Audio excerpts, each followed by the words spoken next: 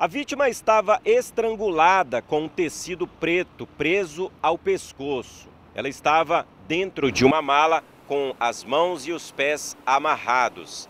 A polícia ainda não soube divulgar o nome, qual seria a real identidade deste homem.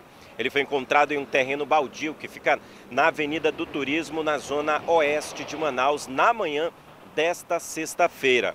O Instituto Médico Legal foi chamado para fazer a remoção do corpo, além de investigadores da Delegacia Especializada em Homicídios e Sequestros, a DHS, que devem iniciar uma investigação.